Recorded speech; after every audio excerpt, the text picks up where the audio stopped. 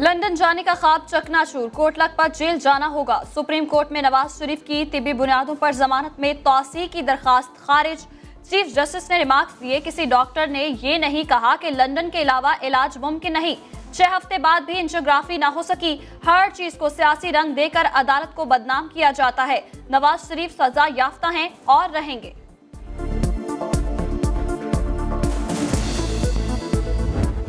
یہی ظاہر ہوتا ہے کہ بیماری یا عدالت سے ضمانت لینا ایک بہانہ ہے، اصل نشانہ لندن جانا ہے۔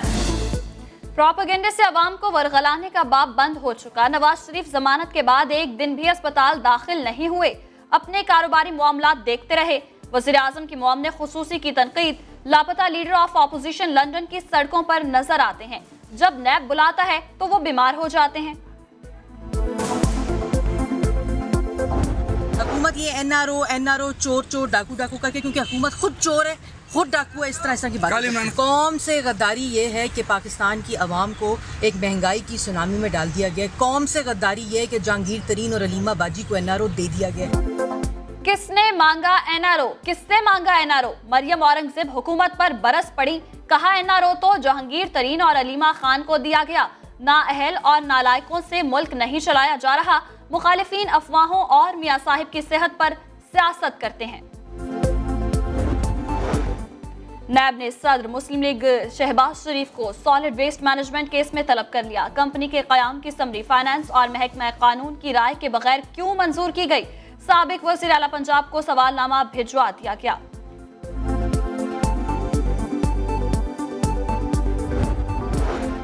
حالات بتا رہے ہیں کہ ڈھیل نہیں، ڈیل ہوئی ہے۔ شہباز شریف کا باہر جانا این آر او کا نتیجہ ہے۔